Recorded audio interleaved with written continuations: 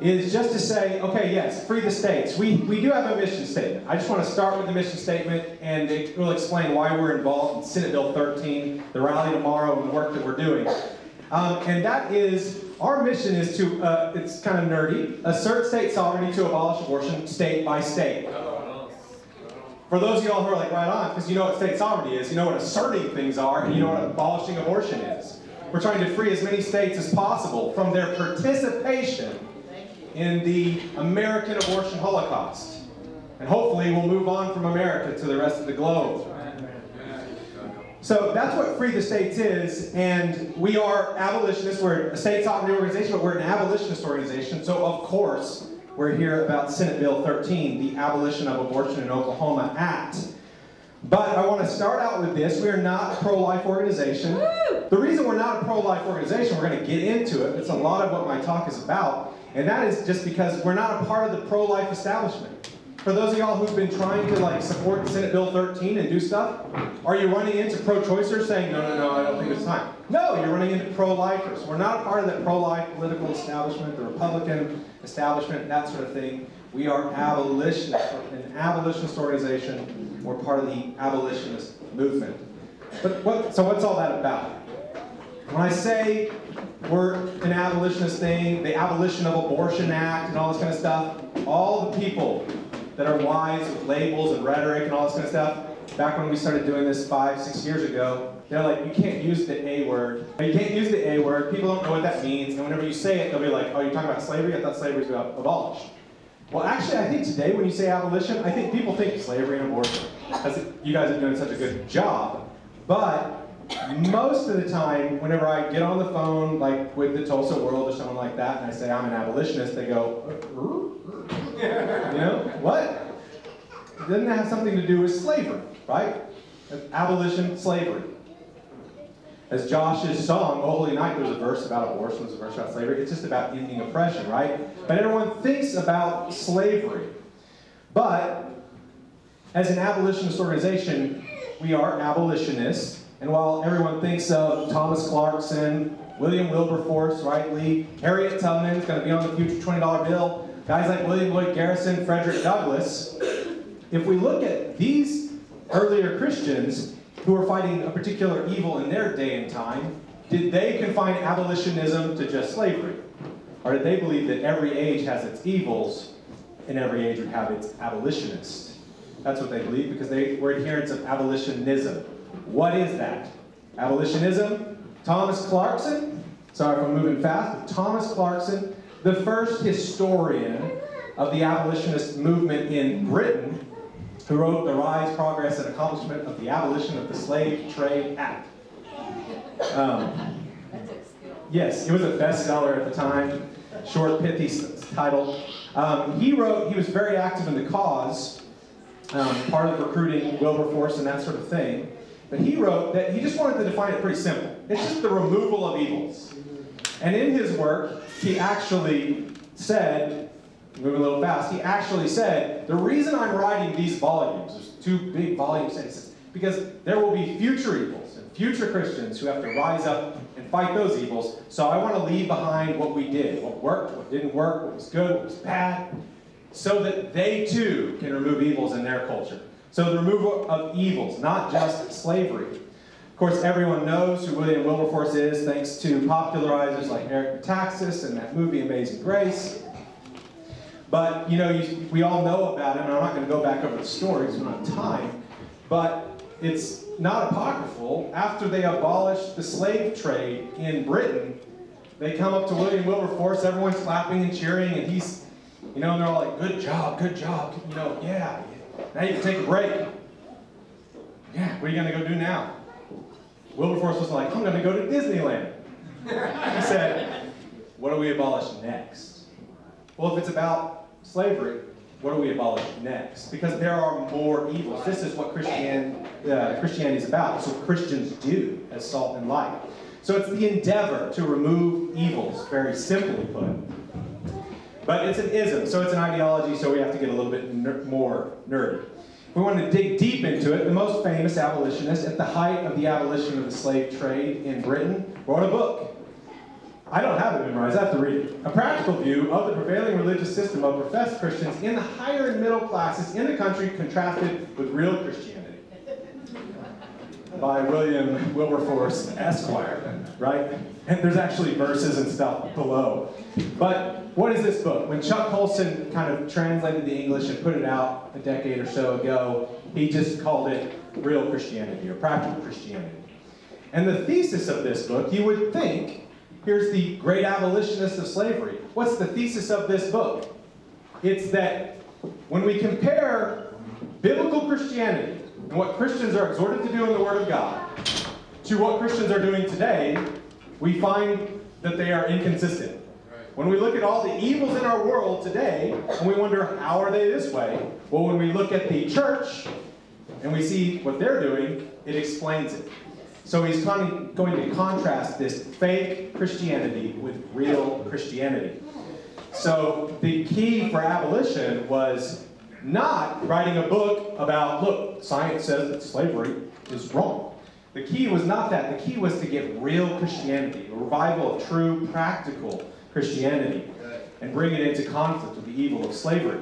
So abolitionism there for William Wilberforce, and I, instead of calling it real Christianity, I like to call it contrasting Christianity. Christianity in conflict with the culture of death, the culture of slavery, bondage. That's where abolitionism comes from. It's also a major thesis of pretty much every writer from this period that I've read. So, um, so when you read this stuff, he says that Christians refuse to go with the rest of the culture to do or allow evil. They rise up and they abolish it. That's what they do. Now, of course, William Wilberforce, we all think of him as well liked, right? He was probably well liked. Him and his friends, their Facebook, they, they never got messages. No one ever slandered them. No, they actually all kind of like lived together in this little uh, town outside of London, and they were called a sect because the word cult hadn't trended yet. right? The Clapham sect, where they all lived in Clapham and they thought that Christians ought to be changing the culture. And all the other Christians who were like, just, no, Christians are supposed to be like the culture and go to church on Sunday. You guys are a cult. So you've got Wilberforce, and of course Wilberforce does an excellent job leading the parliamentary campaign against the um, slave trade. But there's still slavery going on in the British colonies and around the world, and so the abolitionist movement has to continue after he's sort of old and retired.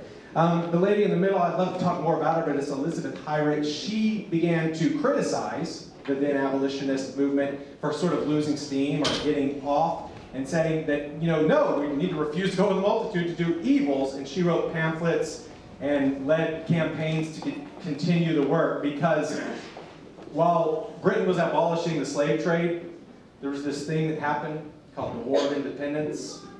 And um, after they had gotten rid of the slave trade and slavery and that sort of thing, well, we were no longer a colony and we had, had to continue.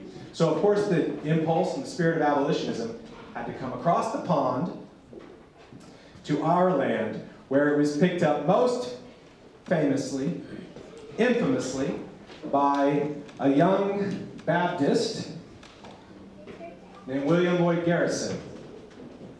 And he is the first one to sort of literally define abolitionism is refusing to go with the multitude to do or allow great evils.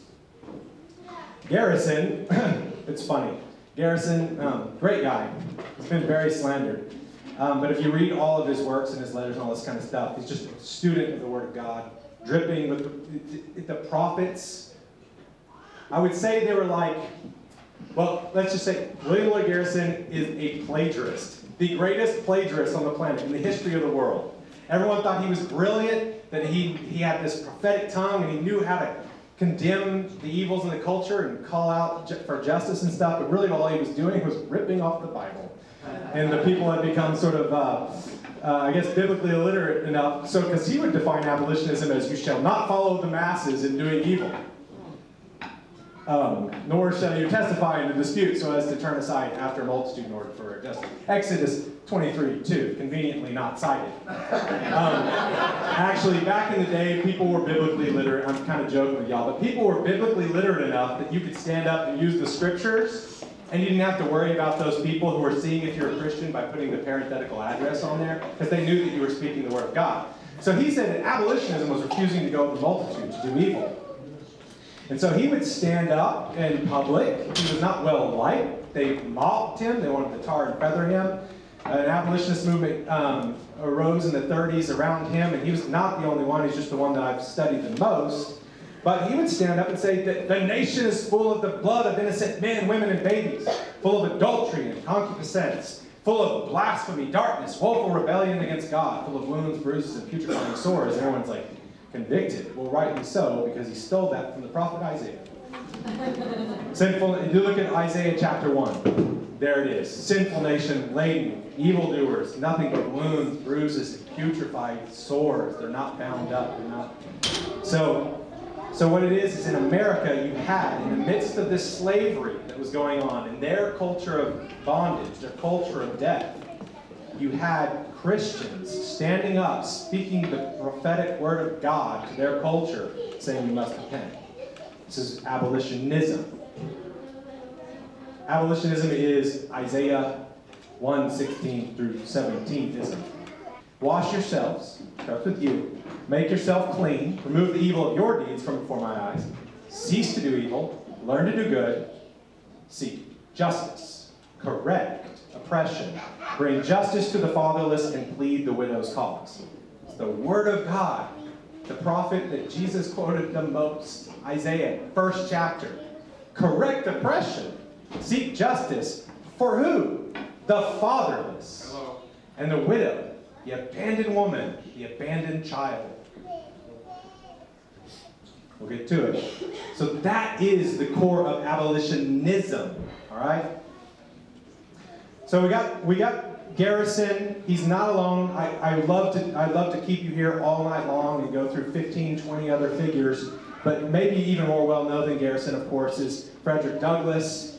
Very close friends, kind of had differences on some things, but very um, a lot of camaraderie, at least in regard to using the Word of God to convict the culture that they were living in and to, set, to tell them in the, in the words and the language of Isaiah that your hands are full of blood.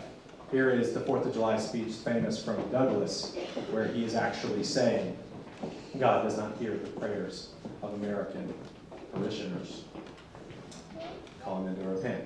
Of course, without going too much into it, the Liberator, William Lloyd Garrison's, uh, he started in the 30s and it ran through the end of the Civil War and the passage of the 13th uh, Amendment. Um, and these guys were unashamed of this, that they were, they were fighting for the abolition of slavery, but they were saying that the standard which Christ has erected is the one that they revere. It's the divine authority of the scriptures, that their trust is in God, and their aim is to walk in his footsteps. My rejoicing is to be crucified to the world, and the world to me, my fanaticism, because they were called fanatics, they were called cultists, they were called everything. They were called heretics. And they said, My heresy is to love my neighbor as myself, to love God with all my heart, soul, and mind. My fanaticism is to make Christianity the enemy of all that is sinful. And my infidelity is to preach Christ and Him crucified. So, contrasted Christianity. Christianity, enemy of all that is sinful. Now, the secondary literature, and that's for the non nerds in the office, that's people today writing about people back then um, without getting into too much historiography and revisionism and all that kind of stuff.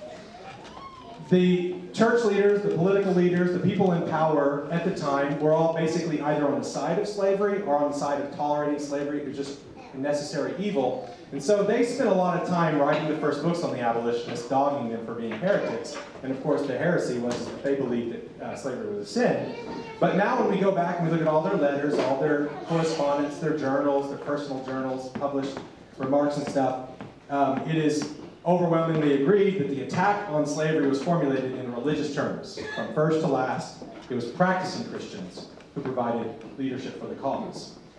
You'll hear sometimes that those abolitionists were heretics. That's just because they weren't like the rest of the church people in tolerating slavery. But they weren't heretics. They were bringing the cause of Christ, love of neighbor, love of God, into conflict with human bondage. And the main difference that these heretics had with the accepted non-heretical Christians was they called chattel slavery sin. Always and everywhere and only a sin. Chattel slavery. This is their declaration. This is what got them in trouble. So why do they call it sin? Because there's slavery in the Bible, there's slavery in cultures. Well, why do they call chattel slavery sin? Well, the idea was that it was all predicated on man stealing, which in the Bible is a capital crime. We'll get to it. But it was treating human beings, image bearers, men and brothers, sisters, like cattle, like property, measuring them up, buying and selling them. It destroyed the family. It these are redrawings of old drawings, but I didn't change them any. I just had to redraw them. Uh, but they, they, so these are the, the propaganda they produced. Ripping families apart, taking children from their mothers, taking wives from husbands, husbands from wives. It just destroyed the family, dehumanized man. It was violent. It was wicked, it was abhorrent. So, of course, as the slave is pleading, like the least of these, those being oppressed in their culture are pleading to God, help us. The abolitionists are the Christians in that culture who refuse to be silent and to go along with the multitude to do evil. Of course, in the midst of this culture, it's a very religious culture, and the church and the state, I don't know if you can see these little drawings, were continuing on opposite the abolitionists who were bringing their Christianity into conflict the evil of slavery. The rest of the world was going along with it. Um, Green, he was an abolitionist professor, uh, minister, and he, and he, he said, I cannot escape the conviction that our Savior has presented to us this very case of our colored brethren in the 25th of Matthew. 25th of Matthew. Whatever you did not do for the least of these, you did not do for me. Whatever you did for them, you did for me. And that we cannot plead ignorance. If you look at that passage from Christ, he's saying that there's going to be people uh-huh. gathered up at the end of time. And those who say, Lord, Lord, we did all these great things in your name. Look at our churches, look at our publications, look at our ministries, look how many Facebook likes we have, etc., etc., etc., in your name. And he's going to say, Depart from me, I did not know you. What? But we, Lord, Lord. Whatever you did not do for the least of these. Beriah Green, in a position of power and authority at a university, he lost that job. Stood up for abolitionism whenever the anti slavery moderates of his day said that he could not. He said, I have to. Decided Matthew 25 was removed. Um, John McKivigan, just before we move on, this is another secondary source. He points out, and this is very clear to anyone who studied the movement, that when the abolitionists rose, as Mary Turner said in hers, it was from within the church, it was the people of God, it was Christians. But the first thing they tried to do was convert the churches to the cause of immediate emancipation. We'll get into that, but they were trying to convert the causes, the cause to immediate instead of what the church was doing, which was gradual. Um, but that's just to say, John McKivigan, this is the source, is saying that that was the goal and work of the abolitionists. How did the church respond? We zoom in here on little paper. Attention, Southern men, down with abolition. Meet at the Presbyterian Church, 7 o'clock. Wait, so, so, down with abolition, meet at the church. We're going to get our, our, our bully clubs together and we're going to go throw their stuff in the Mississippi and beat them. Let's meet at the church and let's get that going. Because the abolitionists are here. The abolitionists are here just disrupting things. Now, the abolitionists were never anywhere near as disruptive as the slanderer said, but Jesus said that they would go about slandering him. Hard to recover. But yes, it's a true, I didn't just make that up, that's a true pamphlet that was distributed, and there are many, many of them. Um, this is a very religious culture. Most everyone considers themselves a Christian, but they think that this idea that slavery is a sin comes from Satan himself. This is a caricature of Mr. William Lloyd Garrison, and a very much caricature of a brother who is uh, not white, um, and the devil saying slavery is sin. And at the bottom, abolitionism has divided the Methodist Episcopalian Church. So these are bad people dividing the church. What are they dividing the church with? Calling the Christians to bring their Christianity into conflict with the evil slavery. Won't go into it, but uh, persecution ran um, amok. So this is, just to conclude on these abolitionists before we move on to, to more present stuff, anything that appears that is that sorry, I'll read it. It appears to us a self-evident truth that whatever the gospel is designed to destroy at any period of the world, being contrary to it, ought now to be abandoned. If the gospel is contrary to it, it ought to be abandoned. It ought to be abolished. Garrison, towards the end of his work, of course, Jesus would be the central figure in the abolitionist movement, separating the slave from the slave master, as was sung in the song. Okay, so they saw slavery as this evil that had to be chopped down, and all these other evils that came from it, that had, they had to take their axe to the root. What they had to deal with, and as we transition, is this problem. In their culture, there were people who were not into Isaiah 1, 16 through 17ism, but into Isaiah 10, 1 through 2ism. Those who decreed iniquitous decrees, who wrote laws that undergirded oppression, that robbed the needy and the just, uh, justice of the poor, that made the widows their spoil and the fatherless prey. So Isaiah stands up and he condemns those who are writing laws, iniquitous decrees, that look good, because these are all Christian religious people, or at this time, they're all Hebrew, these are the, the, the false prophets of the Hebrew and the, um, the cultures of that time, who would say, peace, peace, when there's no peace, and say that they were writing laws in, in accordance with the Word of God, but they were actually making the fatherless prey and justifying child sacrifice. So, from, whether you're talking about the law of God or the prophets of God, and it's pretty much in every prophet you study, the root of abolitionism is this call for justice and this refusal to just go along with evil. So, of course, what happens by the um, mid 19th century is this charge or this unifying cause is no compromise with slavery. No compromise. It is evil. It is sin. It must be abolished. It must be abandoned. No compromise. Everyone else is compromising. We shall not compromise. Another plagiarist. His was no compromise with segregation. During the civil rights movement, they were putting their bus rallies and all their things together and they're doing stuff. The moderate pastors and political figures who were against mistreating, they wanted equal rights, were always telling him, can we just get a little? How about you're just allowed to like sit in the front of the bus if you want? He's like, no, I want voting, I want this, I want this, I want this, I don't want to like have my own bathroom, I want, I want equal right, right? No compromise with segregation. It's an uncompromising thing, and of course, King, for all his problems, would still source it in Christianity.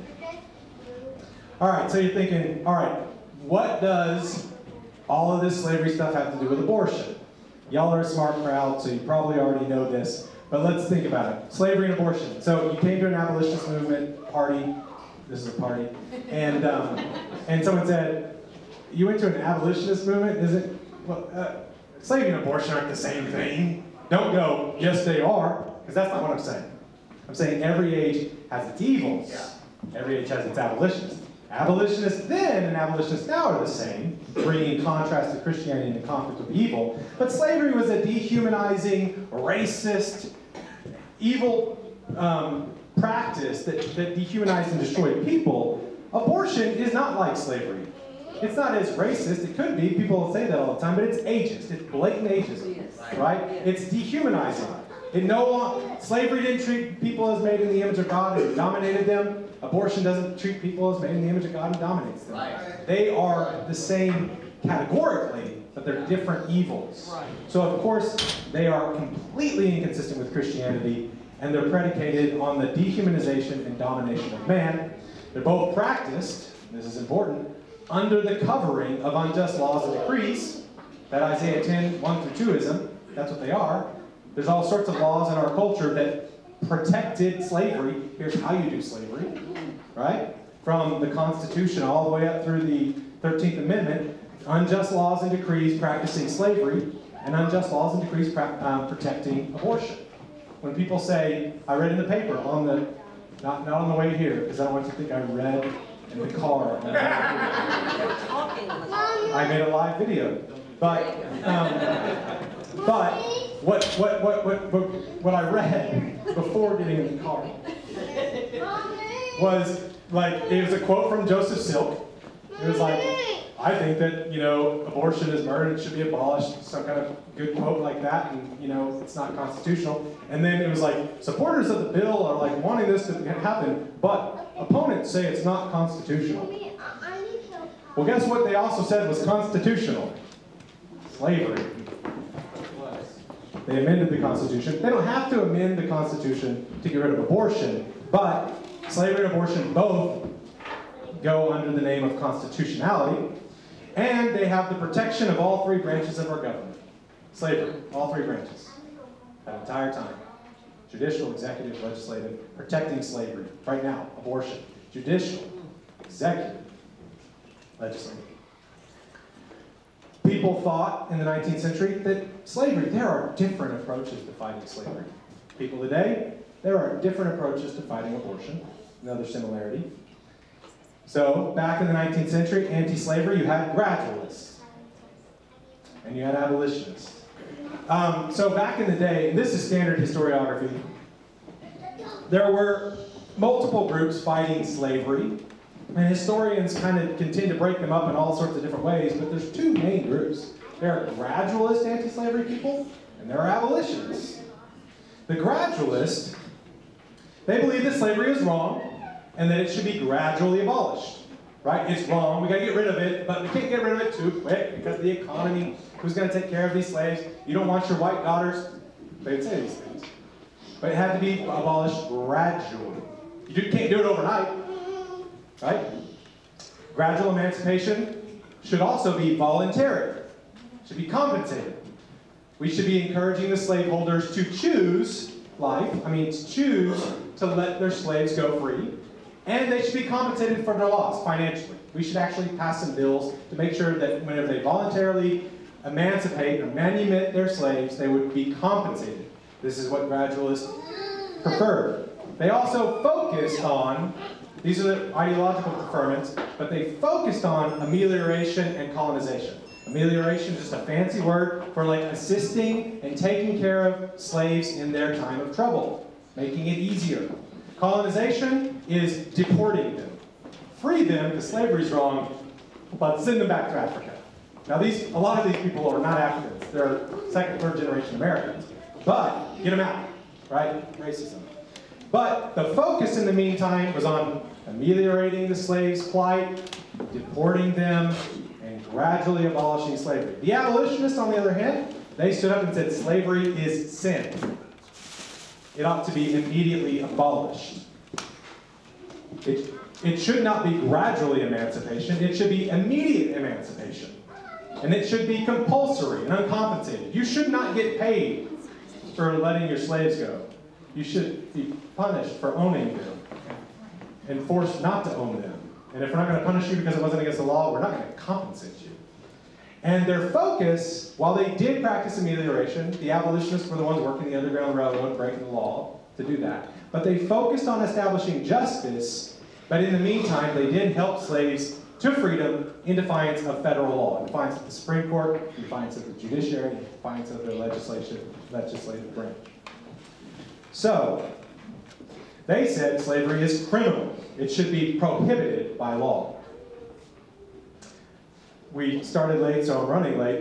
But every American city, citizen who retains a human being in voluntary bondage is a man stealer. And that, because slavery is a crime, the slaves ought to instantly be set free and brought under the protection of law. Man stealing is a capital crime. In this culture, that means you got killed for it. They would say this, and they would say, like Josh said, hey, I'm just telling you what the Word of God says. Repent, go and sin no more. But that's, that's what the Word of God says. It's a capital crime. So the gradualists and the abolitionists were very different. I would argue that the abolitionists were the only one who were actually anti-slavery. The gradualists, um, because they would actually say gradualism is wrong, uh, they regarded it as delusive, cruel, dangerous, that it was a scheme which pretended to help slaves, but was just a substitute for immediate and total abolition of slavery. All this gradualism pretended to help, but it was substitute. And so they, they said it was delusive. So they were anti-slavery, the abolitionists. The gradualists were anti-abolition. They oppose the people calling for abolition, but they're known as anti-slavery. Maybe you're picking up what I'm putting down. William Lee Miller, this is a modern historian, and he tracks this period, and this is about the 1830s. This is from The War Against Slavery, big award-winning book that you all have already read. Um, and he's talking about the 1830s that a significant number, this is 1830s, this is not the 1780s, right? A significant number of Americans underwent a kind of moral conversion. The new moral perception was not only that slavery was wrong, many had been saying that for years, but that its wrongness had the highest priority, and that the way its wrongness had been opposed heretofore had been profoundly inadequate.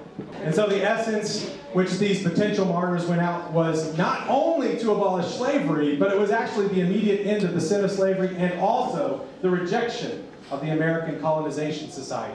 So what's the American Colonization Society? It's that culture's pro-life movement. James McPherson won the Pulitzer Prize in this category uh, about a decade or so ago. He actually, he says, we've got to do this for people. People are kind of confused. We're going to call abolitionists ones the people who agitated for the immediate, unconditional, and total abolition of slavery in the United States before the Civil War. Those are abolitionists. Everybody else, not abolitionists. So that's the historiography. So abolitionists, they said, never call evil good and good evil. Isaiah. Never do any evil that good may come. Isaiah. Never compromise with evil. That's the abolitionists. Don't call it, don't call evil good, don't call good evil, don't compromise with evil. The gradualists said, listen, slavery isn't sin, and the abolitionists are evil. And they said that we must allow slavery for a time in order to accomplish gradual, peaceful emancipation. So we have to allow a little evil to get some good. And they didn't say never compromise with evil. They said compromise is key. That's how we get things done in this country. Compromise. So slavery is wrong, slavery is criminal. All right, anti-abortion. Real quick to conclude before we move on to the next song, you love it. We don't call them gradualists anymore. We call them incrementalists. Gradualist sounds really bad. If you watch the Amazing Grace movie, uh, where William Lloyd or William uh, Wilberforce, the British one, he he's he's he's fighting for the abolition of the slave trade, and uh, Dundas, the representative from Liverpool or what? No, not Liverpool. Don't quote me. on it, Stands up and he says, "I agree with William Wilberforce that slavery should be abolished." And they're all like, and Wilberforce is like, at least in the movie. He's like, oh, this is great. And then he goes, but it must be done gradually.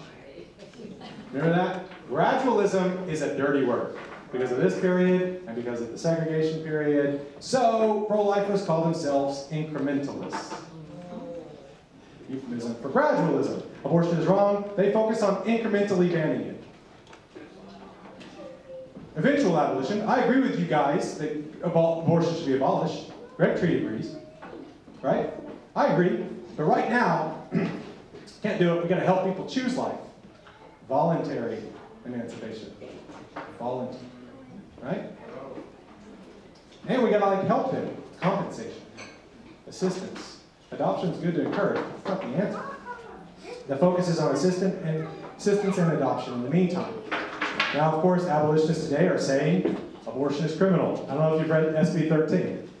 Abortion is homicide. Abortion is criminal. It should be prohibited by law. Immediate abolition. It should be immediate. It should be total. It should be compulsory and uncompensated, right? We're not talking about getting abortionists new jobs. Like, and then there were none. We're not getting abortionists new jobs. We're saying that the job that they're doing is murder and they should be thrown in jail. So if we pass the law and they do it, we'll put them And then quickly, yeah. and then the focus, even though we can we can do assistance and adoption, the focus is on establishing justice. In the meantime, you can go rescue those being taken away to death at the abortion clinics. You can engage people in schools and churches, wherever you are, to try to cut down the number of abortions. But your focus isn't on cutting down the number, your focus is on establishing justice and loving your neighbor as yourself. So abortion is criminal. Incrementalism is wrong. We are actually anti abortion, right? the Tulsa World's like, well, I, I, she's like, I don't get it. I don't get what you're saying to me. Aren't you all anti-abortion? I'm like, well, if we're all anti-abortion, why am I saying support SB 13 and that person saying I'm not going to, but I'm pro-life? Because you're not actually anti-abortion. In your actions, you are anti-abolition. Following it? Nope. So incrementalist and abolitionist, and here's the thing. William Lee, William Lee Miller said this about the 1830s. I would rewrite it about the 2000s, but a significant number of Americans have undergone a kind of moral conversion. And the new moral perception is not only that abortion is wrong, many have been saying that for years, but that its wrongness has the highest priority, and that the way its wrongness has been opposed, and I'm not going to say heretofore in my version, previously, has been profoundly inadequate. Not only is abortion wrong, but the way it's been being taught is wrong. And that's what we've been doing. And the essence of which we're going out is to bring the gospel and contrasting Christianity into conflict with the evil. And we are saying today never call evil good and good evil. Never do an evil that good may come. And never compromise with evil. Our opponent's abortion isn't murder. Tony Lauinger the leading political lobbyist for the pro-life lobby in Oklahoma. I don't know if you've seen him. It's like me and Rusty and Lindy. They're in the hallway talking, well, is abortion murder? Well, it's killing. Yeah, it's murder. And if you talk to the pro-lifers, who do they think are evil? And they say we must allow abortion for a time and for various reasons all along the way to eventual abolition. They say this all the time. We can't just abolish it all. We've got to allow it a little bit along the way to eventual abolition. Who's going to take care of these kids? We don't have the infrastructure. We're going to get in trouble with the federal government. Yeah, and they never give you an actual timeline, but they always tell you it's in the future. But I agree with your goal, and how we're going to get there? Compromise. That's how they do election. Compromise is key. And we're saying no compromise. So, abolitionists, we refuse to go with the multitude to do or allow grave evils. I put these guys in black and white. I love this slide. I'll make it prettier next time. But from William Wilberforce through Martin Luther King to Dan Fisher and his campaign for governor to Joseph Silk and his work for SB 13, they are refusing to go with the multitude to do or allow any grave evils. Not because they are pro life, but because they are abolitionists.